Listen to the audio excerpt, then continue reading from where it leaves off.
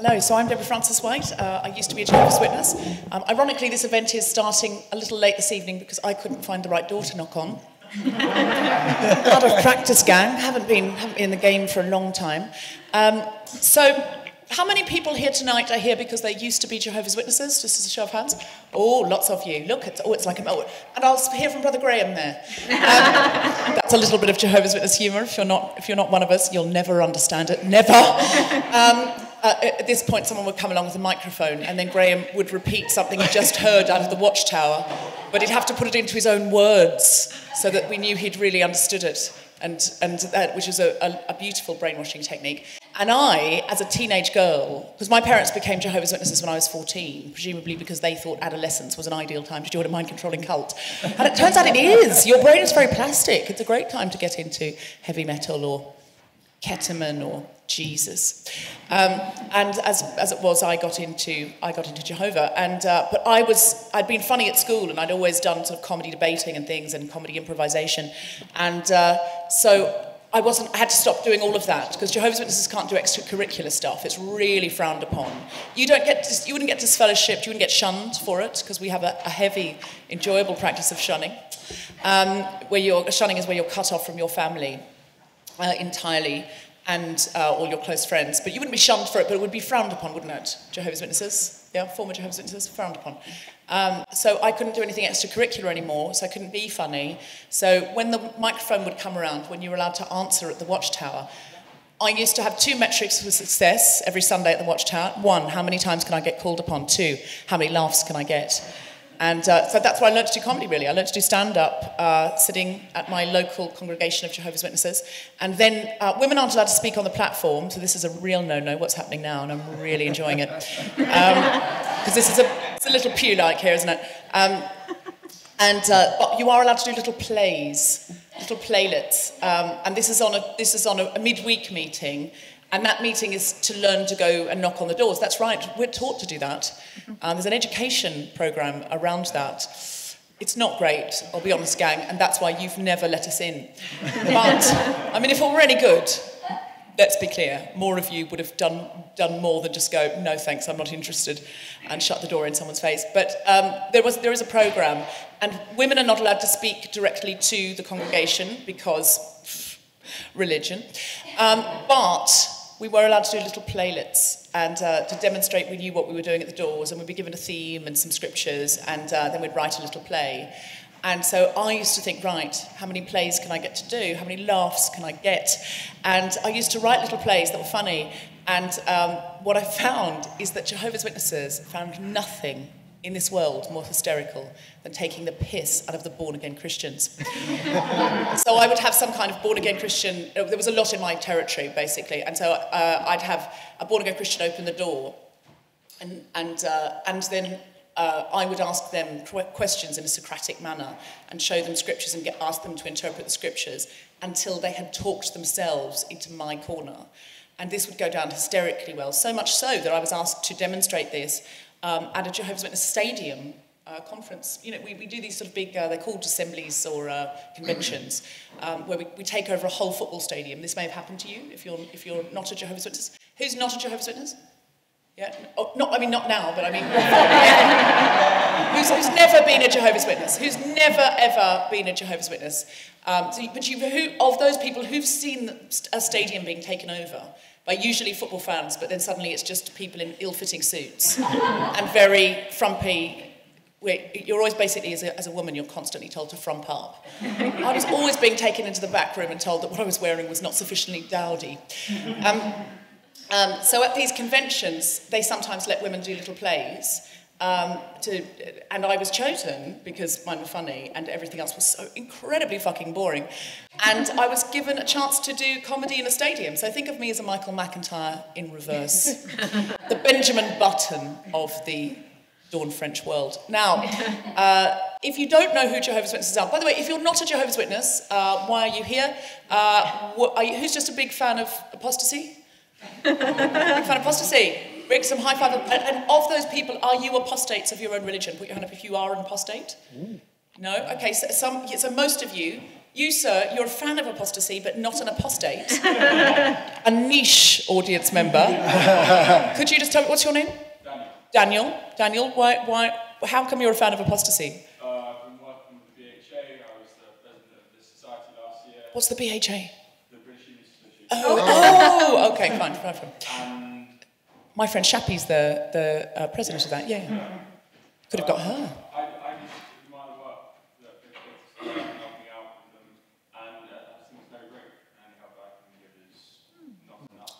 But Daniel, tell me more. The rest, to, to be honest, the rest of you can go. Daniel and I are just going to have a pleasant romantic evening while he tells me how brave I am. Um, if you can't see Daniel, he's quite handsome. Uh, anybody else? Who else is here? Who's just a general general fan of cults? Fan of cults? We had a fan of, fan of cults or talking about cults. Don't, you don't have to be, I don't mean you have to be pro cult, uh, but are interested in cults. Lovely. Uh, anybody else? Just shout out while you're here. What, one, two, three? Sorry, what was that? An extreme atheist. Great. Sort of, that sounds like extreme sports. It's just, yeah, you, you prefer, you're an atheist while jumping off something. Um, great. Anybody else? Just so we get a sense of the room and who we're talking to. Um, if you were a Jehovah's Witness, uh, put up your hands if you've been out for over five years, over 10 years, um, over 15 years. Okay, under five years. Oh, wow, there's a whole row there of newbies. High five. High, five, to that gallery there. Excellent. So you're quite recent. Anybody, anybody around the one or two year mark? Oh, wow. Wow, you really are. You should really be at a meeting tonight. this is outrageous behaviour on your behalf. This is ex- some exciting stuff. Yeah, yeah. And if, I, did you leave together, you guys? Or did you, you found each other? Did you find each other on the internet? Yeah, see, when I left, the internet was just sort of some pornography and directions to a shop. It wasn't, it, it wasn't, it wasn't what it is today. You couldn't just find people. So I just had to sort of wake up on my own very, very, very slowly over a period of, of years until I went, oh, no. Um, and uh, then later I've discovered, not, not, not that much longer. I mean, the internet was a thing, but it wasn't, we didn't have it in our pockets all of the time. Um, it wasn't the, the, the obsession it is now. So the internet is a great thing. I mean, it's a terrible thing, obviously, but uh, it's a great thing for this kind of thing where you can find some community and people who understand. Um, so if you don't know very much about Jehovah's Witnesses, uh, it's essentially a doomsday cult.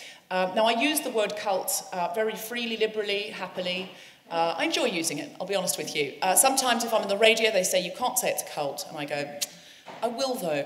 And I'll tell you why. Um, I think a useful definition of a cult is any group that won't let you leave with your dignity intact. And they will not let you leave with your dignity intact. The, the thing that makes, now, in lots of ways, it could be mistaken for a, just an ordinary, fairly harmless family religion. Like, I would say the Anglican Church is largely a cake based faith. I, I used to be Church of England before we became Jehovah's Witnesses. Um, I was raised in Australia, but we were, we were still the Church of England. Um, and uh, because it, Britain's very good at exporting its product. Um, and it was very cake based, based. It was sort of fates bring a cake. Uh, Sunday, sing some songs, hear a sermon about basically being good or you know, not being jealous or something, have some cake.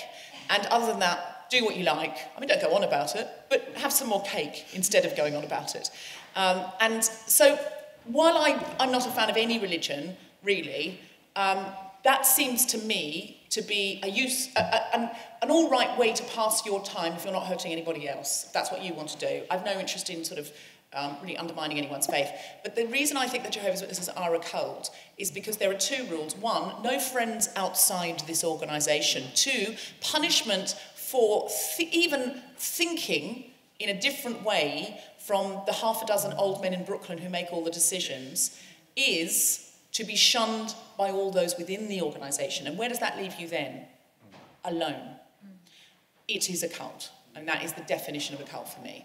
Um, they don't actually make you drink Kool Aid, but that's not the point. If they did, you would.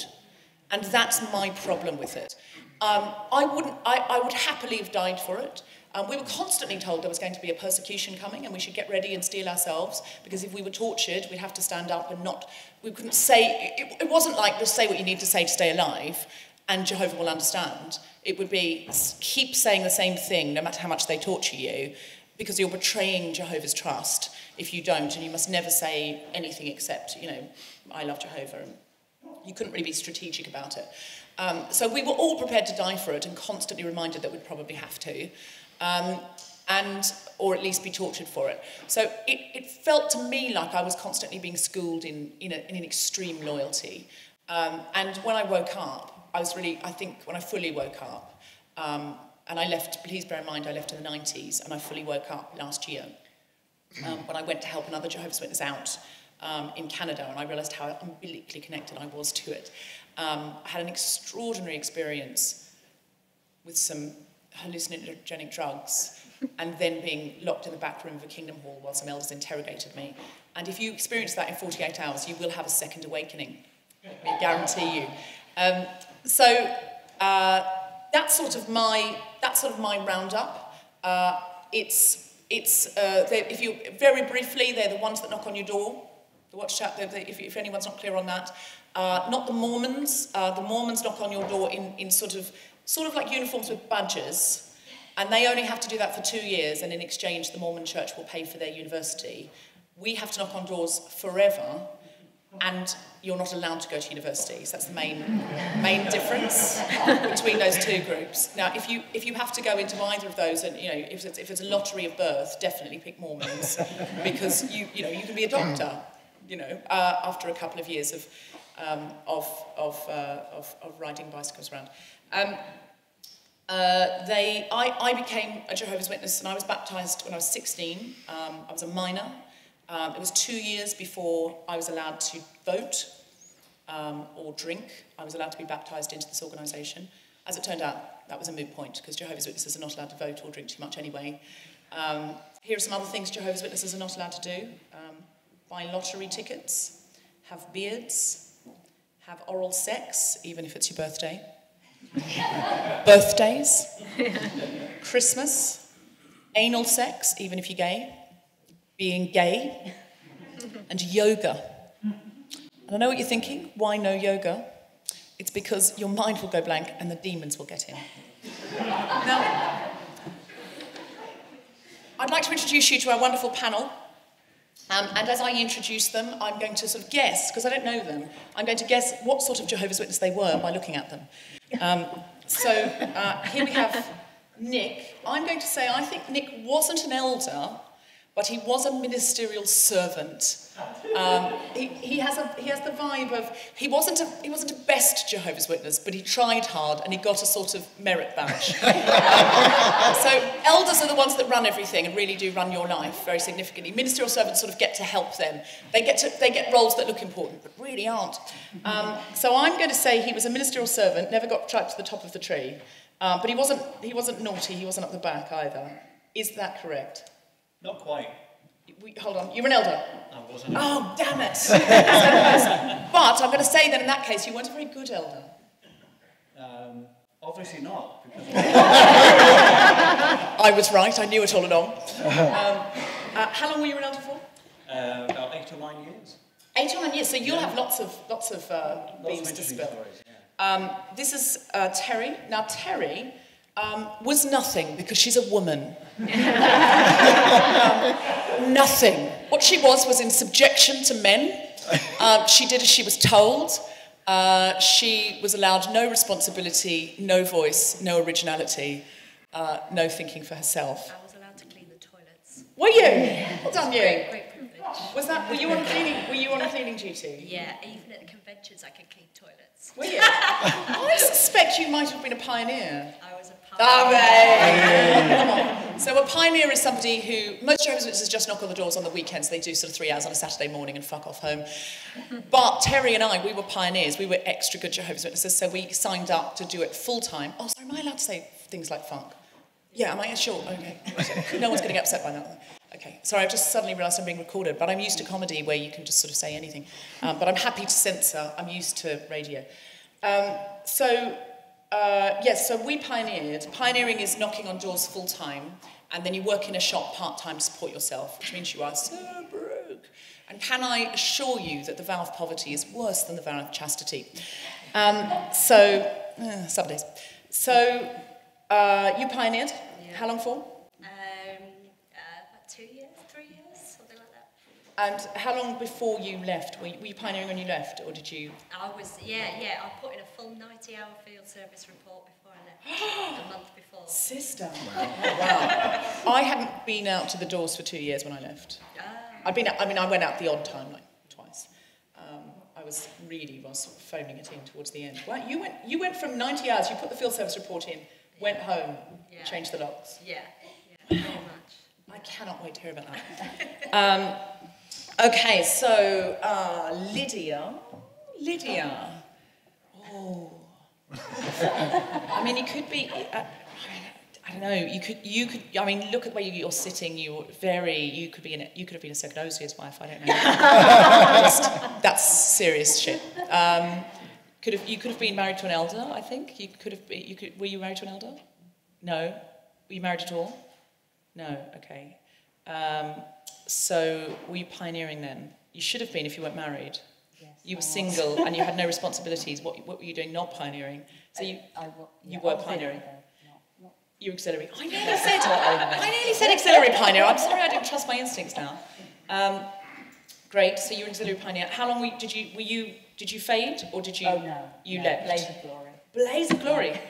Are you, so you're currently disfellowshipped? Yes. You're in a disfellowship state? Yeah, I, I faded. Um, I just, I stopped going and they forgot to disfellowship me. Um, uh, okay, and this, this is a couple.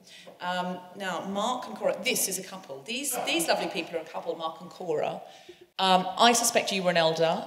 No, No, you were not. no, I was Would- never an elder. W- Did you, were you a sort of were you as well? You must have. You, I think you left that recently. I think you left quite recently. Yeah, you left quite recently, and you were a couple when you were in. Yeah. Were you a married couple? I know why you got disfellowshipped Why? because you slept together. No. oh, we did, but after we were married. You slept together after you were married. Yeah. That's allowed. Yeah, I know. Yeah. That's allowed in most religions. Even the Jehovah's Witnesses don't stop you doing that today. God, I, But we were just before getting married. you were disfellowshipped before getting married. No, before before getting, getting married. married. Before getting married. Oh, one of you was divorced. Most of us Yeah, we were both divorced. Well, why were you disfellowshipped then? Because you told me. we still don't know. You because we didn't- were told to stay away from each other and we went against. We, we were actually disfellowship because we, We didn't didn't take the counsel, counsel. which was to stay away from each other. Why did they want you to stay away from each other when you were, you were both free to marry? I don't know. Yeah, it's, there's, it, some, some congregations are really corrupt. Um, Yes. all right, so uh, that's our introduction. Um, so, would you like to hear from our panel? Yes, okay, so.